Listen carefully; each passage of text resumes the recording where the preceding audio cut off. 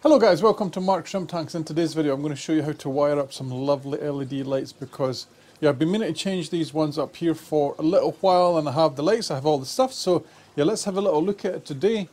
Uh, these are the ones that are going to get replaced up here. You can see I've done the worst job ever in actually setting them up right. So we're going to replace them with some of the spotlights that we've been putting in other parts of my room. And in general, guys, I think that's what I'm going to do. I'm going to go over to these lights because they're relatively cheap. They're like uh, 10 bucks each kind of thing. These ones are 10 watts and you can see by this that they're clearly bright enough for a very big tank like this, yes. So I'm going to start to swap over all my lights and I thought I'd bring you guys along for the journey. So let's have a little gander at these lights and we'll see what we can do with them today. Alright, so you can see here guys, right, that the lights are, they're not bad. You can see in the tanks themselves that the lights are not bad, but yeah, I've never been too keen on these lights with that type of connection near water because if I splash water at this connector right here it will short right and we're in a shrimp room with loads and loads of water and stuff so yeah I want to try and change this so that the connector is at least waterproof minimal. And anyway guys as I said I love I love this look here that you get with spotlights. So we have some spotlights over here. Let's have a little look at what I have. So we have a whole box of these V-TAC floodlights that I've ordered. Let's grab two of them because that's what we'll be using today. And I thought guys, uh, stick you guys on my chest here and we'd have a fiddle with these and see how we get on. Alright, so let's have a little look at these. Quickly unbox them. Um, I will leave a link for these in the description. They seem to have gotten a lot of them back in stock now. You'll see what the issue with these lights is straight away and that is, guys, remember to take your stickers off the glass in the front. And that is that very, the cable is very, very short, you see it? So, today we need to find a solution to this. Let me unbox the other one at the same time. No looking at my belly, please, my big flabby gut. Let's unbox these and yeah, we'll figure out something in a way that we can wire these together as well because it, yeah, the, the connectors for these guys are kind of expensive and I mean like they are literally like 10 bucks for one connector to join two of these together and I thought yeah that is an awful lot. See when you have this many tanks in your shrimp room and you want to do stuff like that 10 bucks a connector is too much. Right I can buy uh, normal connectors kind of like this cheap as chips that are not waterproof right? So I don't want to go with these but yeah we're going to see what's actually inside this light I think today or is it sealed it actually looks like it might be sealed or yeah I think it's actually siliconed in at the front as well. Is the other one the same? I think it is. So yeah we can't actually open this. So I was thinking how can I wire these so that we are not showing these connectors like this. And it's fine guys if it's something like that with our plug on it because we have a waterproof uh, rubber plug as well that is also grounded. Um, so we might try and wire two of them into one but I think that might be a little bit hard to do as well. So we probably will have to go with one of these open type connectors until we find a fix. Right guys, let me know in the comment section if you know an alternative to this that is waterproof because the ones I see online that you can buy are 10 bucks a pop and it's too much for me to buy for all this amount of stuff, right? So yeah, let me know the best thing. Yesterday I was looking at things like uh, shrink wrap stuff, shrink tubing, where you use a heat gun to uh, shrink it and all that stuff. But yeah, I can't figure out a way to join so many cables together into one connector. Uh, and I wondered, could we do this in sequence even? So, like, could we have, like, uh, live going to uh, the live on the on the plug and then have our neutral going to the live on the next one and so on and so forth. Yeah, I'm not sure how this works. Probably for this way of doing it, I'd probably be better getting an electrician in to do it. Anyway guys, let me know in the comment section your thoughts and whatever else because yeah, I'm interested to know. If we can save a bit of money doing it ourselves, I will, but yeah.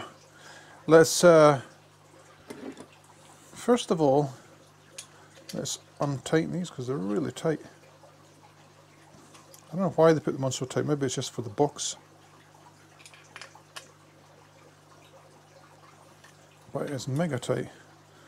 And we're just going to use screws because there's a wood wooden beam part under there as well uh, that we're going to screw into. But I thought I'd do the electronic part on this first because it is the part that might be the easiest. Right, so let's grab our connector. I think guys, just for today, right, I'm going to go with a connector like this. Two going into this, light going to each tank, wires coming off this to our waterproof plug and uh, we'll see how we can waterproof this. Maybe we should put in a little box or something. We'll figure something out. We'll figure something out, right? But I'm going to grab some screwdrivers and stuff and I'll be back in a second. These uh, rubbery plugs, there's a screw on the side you have to take out. If I remember how to do this correctly. And then I think it pulls apart the plug, does it?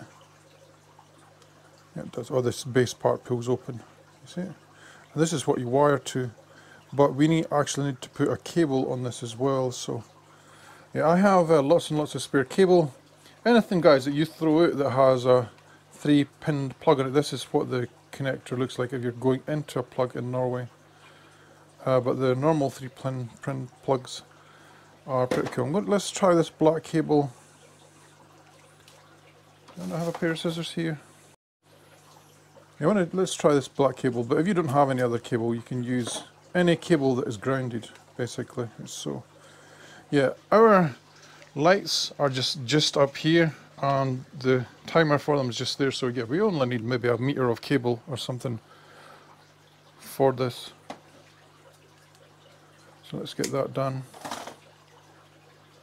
Meter of cable. I think that is long enough I think it is long enough. So let's cut our cable like so. And then guys, the way I've always done this is I've never had any of the proper tools for doing this in my entire life. So you just have to be careful, right? See like so this as an example, that has just been poorly done. You see see how it's they're all frayed and stuff? Open, that has been poorly done. Same with the other one. You see it, there's no need for the cable to be this long and th these wires at the end should be finished a little bit better than this. It's just someone's done it fast and they've not done a very good job right. So the way I've always done it is you go down maybe four centimeters and you take a pair of scissors like this or a knife and you just go around it really slowly like this turning it as you go along and then with a bit of luck guys, you can actually just pull it to the side. You see how it's opened? Do it on each side, right? And if you go through the cable anywhere, start again. Right, so if I nick the cable here, if you can see copper, start again. It's not the perfect way to do it, but it is uh, how you do it if you don't really have all the tools and whatever else. See how easy that opens up? It's literally just on one side here, right there.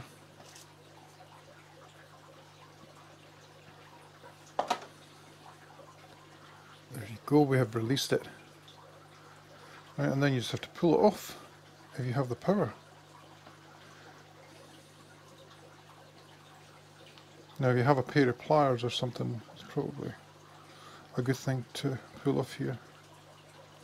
See, I probably should try and find a pair of pliers because we're going to need them for other jobs. I have loads of pliers, but you know what it's like. There you go, it was just that tiny little bit of rubber there that was holding it. Right, so you have the wires like this.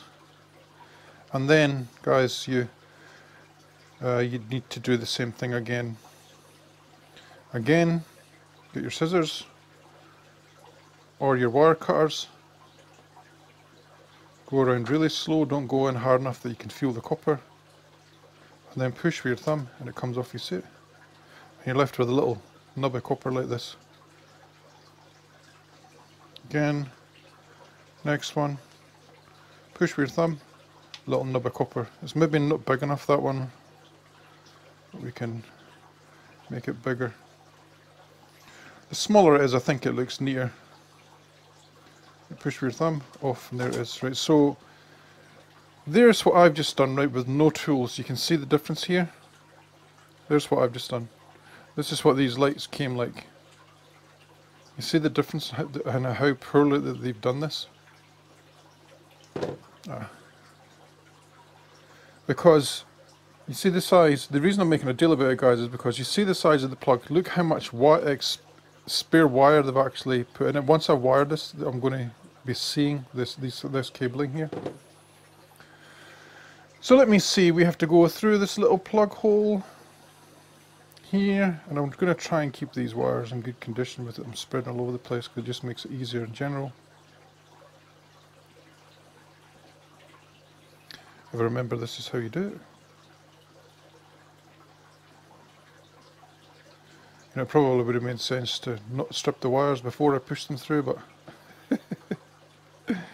you live and learn, don't you guys? Right, so let's see if we can push this one through. It's so tight.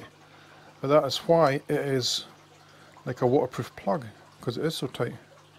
And so there's a lesson learned there. Don't do that part there until you push the wire through, then do this part. I haven't made a an ass of the connections at the end, but yeah, do it that way.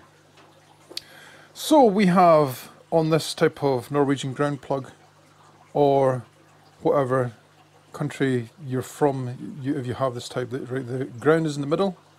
I think live is on this side and neutral is on the other side. I don't see if it's marked on here. Uh, I can't see. I can't see. I think it's that way anyway. So the way I've always done it is I grab the ground, because this is going to be the hardest part where the ground is, because the ground is in behind there. See if the screwdriver fits in there. And unscrew it a wee bit. So the plate opens up in there. Or you may as well open this up as well in the beginning. Remind guys, remember, I'm not an electrician. You do all this stuff at your own risk. I don't want you killing yourself. I, I am by no means an expert, but I can at least wire a plug. If you're not sure, just get someone else to do it. Alright, I'm going to unscrew the next one.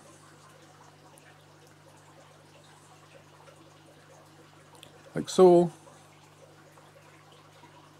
Maybe we can turn this around a little bit because uh, we don't need we don't need it to be open fully. We just need to be able to need to get the cables through.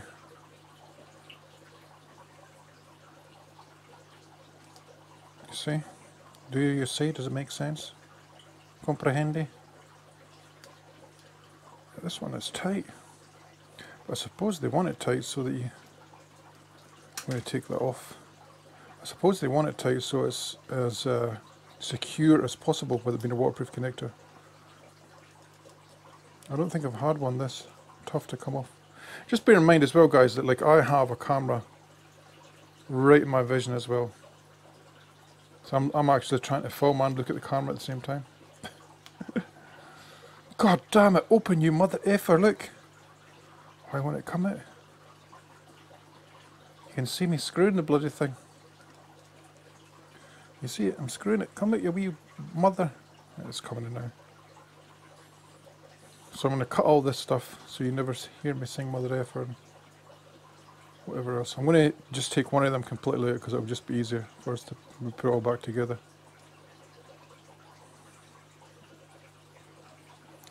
I'm making an ass of this. This video is going to be five hours long, trying to do one plug. Alright, get this thing out of the way. Right, and as you can see, right in there is a little screw and we are going to put this little tab that we've done here this part here under it over here and I'm going to go guys from the top down. You'll see why in a minute. Top down and we're going to put under that screw the cable. You see it? Push it in and under as hard as you can. I probably left that like, like a little bit, tiny bit too short. Push it in as hard as you can. But as long as most of the copper is under that little screw, you're going to go back over the top and then you're going to tighten up that screw because it's going to clamp down on that copper. And I'm going to go from the top across, you'll see what I mean in a second. Like this, you see it? Like that. So it lies across and then we can secure it with that clamp. Now, I think it's this way. Brown on the right, left side. Brown on the left side. You're going to go in there as that's not even open. Yeah, so all these jobs are a teeny bit fiddly, but once you get it done, we'll have uh, nice new lights on that will look much, much better. So it is worth doing this kind of stuff. See how it goes in there? And then we're going to tighten that up. The screwdriver I have for doing this is a little bit big as well. You want to make sure all these screws are tight tight. Now ideally that blue wire should have been under there Let's see if we can push it through. We can. Because it's now going to go on the other side. Now guys, it isn't as fiddly as this. The way I'm doing it here, it just looks fiddly because, yeah, as I, as I keep mentioning, I have a, camera right in my way. So normally it is not as fiddly as this. It's probably easier if you take all the all the stuff off here actually.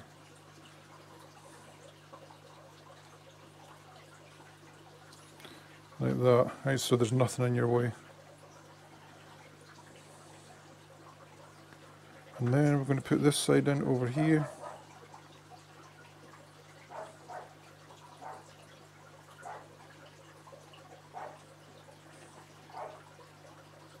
Should go in pretty easily. Did I unscrew this?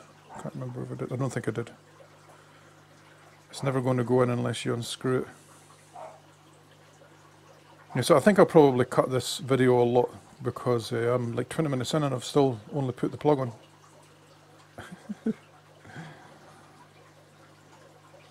but um, yeah, the tighter that you can do all these little bits, guys, the safer that your your setup will be because all your wires will be inside the plug and whatever else. That makes sense. Like so, you see?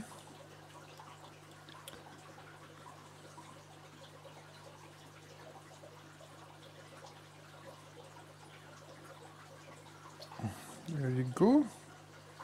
And then we have to put on our little plastic clip again, this bit here. Because this is what's going to hold all this wiring in place, right? So typically that will be for things like if if someone walks through the cable and they accidentally get stuck on it or trip on the cable or something like that, it won't pull all the wires out of the socket. That's what this little bit here is for. these have little bolts as well on them which we're going to put in right now because they're underneath they go under you see. Under this bit. Will be easy to go in? Let's do one at a time. You just have to hold it in place like that and then we're going to close this piece here just until it gets a bite and then and put the other one on on the other side.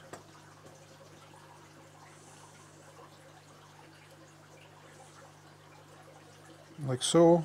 Put your finger in it, turn it around, make sure it gets a bite on this side as well. And you can feel it guys when it does get a bite. I can't feel it biting on that side. But I can now, you see? And as you're screwing it, will draw that little bolt into its little position and it'll grip it will grip all these little wires that we've put in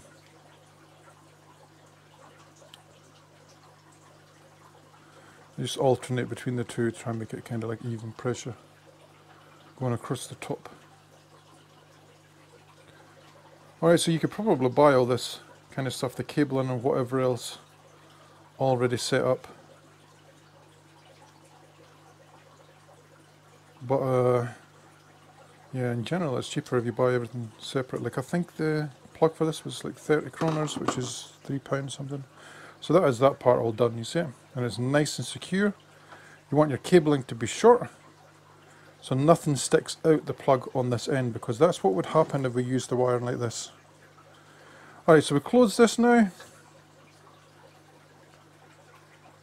And by the way guys as well, I think these are sold as like rubbery, uh, waterproof connectors, but yeah, I, I, mean I'm pulling this through there, I'm, I'm pretty sure water can get in that bit as well, right? So when you're pushing these together guys, right, there's a hole there and there's a hole here, these have to match up.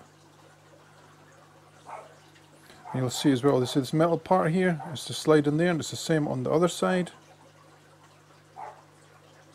If you do this right,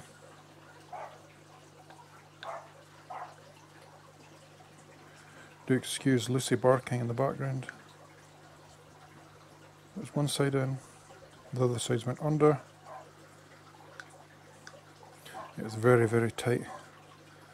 It's very tight, but that's probably why. Let's see that little one went down there. You see it? To go up a wee bit. Let's try that again. Keep an eye on both sides this time. Looking good. Push in all the way. There you have it. Right, so there is our plug almost done. Let's get one screw in that holds everything in place. And that is just the plug guys and that's almost 20 minutes. But this plug is a tiny bit complicated as you can tell. And as I've been saying all the way through this as well, yeah, I, I would do this much faster if the camera wasn't in the way. So next we have to strip the wires on the other side as well. So this is what the cable looks like. We have to strip the wires on this side too because uh, we're going to have to put them into our three-way connector. Same thing again. Try and keep it clean. You're going to go for about 4 centimeters. Just go through and no more. With your scissors turning the cable as you do it. And pull the wire down like this, right? You see how I can see copper there? Cut that part off. Now if you're an electrician you'll have all the proper tools for this so you won't have this issue that we just had there. But yeah if you don't if you don't want to go out and buy the tools and you're okay with just practicing doing this kind of stuff do what I said. You don't want to go through the copper though. That's quite important. You see? Not through the copper. Not through the copper. Not through the copper. And not through the copper. This one hopefully will come off a wee bit easier than it did. I'm going to strip the wires the same way we did before. I'm going to give these ones a little bit longer than the last one because yeah, the last one was just a tiny bit too short. Like this, and then push off with your thumb. Back in the day when I used to do a lot of this kind of stuff, I used to use my teeth and just pull it off, but yeah, it's not good for your teeth. The thing is guys, I think I actually have a wire stripper, but if you have just a pair of scissors hanging around like this, it's not so hard to do. Because copper is quite hard and the rubber isn't, so it's easy just to make a little incision and pull it off like that, you see? Make sure that they're all tightly together, the strands,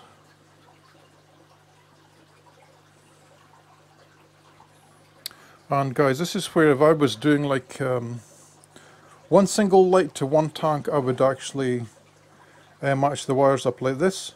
I put a little bit of shrink wrap on each tube first, a little bit black shrink, shrink tubing on it, on each one, and then I would solder each connector to each of them, and then I'd pull over the shrink wrap over the joint, heat it with a heat gun, and then uh, you'd obviously have one bigger piece of shrink wrap that would go over the entire lot and seal it all together, right? But we want to add multiple lights. So I think I'm going to have to go and try and find my little screwdriver. I'll be back in one second. Yeah, I couldn't find a screwdriver there. You know what it's like when you have kids. And they take stuff with it in the back, right? So you want to open all these connectors up.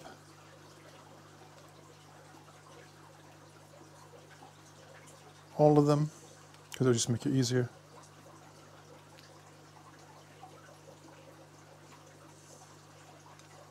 And these connectors are probably okay as long as there's no, like nothing can contact them at all. No fluid can be spilled in them. But if you think this connector can somehow fall in your tank, then don't use it. Because what's quite funny is, guys, I've bought, have bought waterproof connectors before, waterproof little boxes and whatever else, and you open them up and what do you think's inside? Because people tell me these things are not safe and every single connection box I've ever opened has these inside. Alright, let's just go with whatever way these wires are, I think, because it'll be easiest. I'm going to bend the outside ones in a tad so they kind of can just go in like this, you see? One, two, three, in.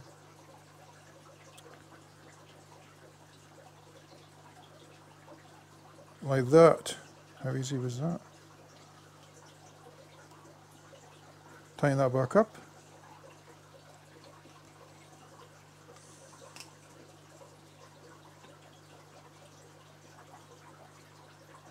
Tighten this one up. And yeah, it's, it's quite important that you do this as safely as you can.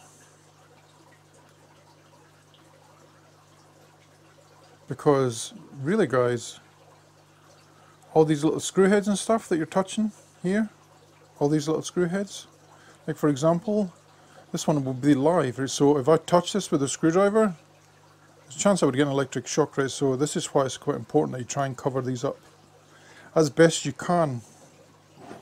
Alright, so next guys, all we have to do is grab these wires here, stick them in there, and we should be good to go. So what we're going to do is we're going to try and pair these up first and just see what we can do. I mean, look at look how badly these have been cut. I mean, why is this one so long for a start? Let's try and pair them up as best we can, right? So I'm, I'm just going to match them length for length and do it like this, a couple of twists. And you want to just make sure that this is quite even because this is going to go into our little connector. Where did it go? It's way over here, you see it? So this is the ground wire.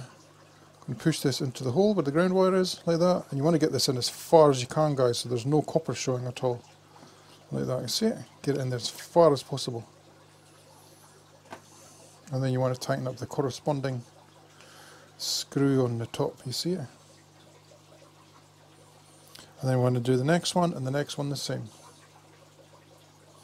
And I'll probably use some electrical tape just to go over these a little bit as well, I think, just to try and make it that wee bit safer than this, because yeah, I understand that this isn't the safest way possible, but you don't want to mess with electronics, electricity, especially mains electricity. And I'll keep on saying this guys all the way through the video, if you're not sure about this stuff, don't do it. Don't do it. So we're on the blue, which is the neutral. And blue just happens to be the middle one on this. I'm going to shove it in to the middle bit there, all the way as far as it can go, so there's no copper showing, right in as far as it goes. Because the last thing you want is for these to slip out and touch each other.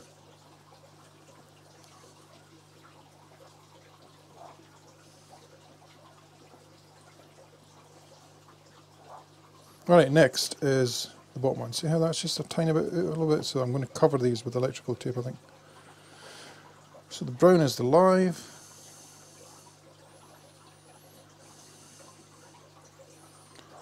Tidy these up. And then we're going to connect them together. Now, if I had all the proper stuff here, I'd probably solder these together.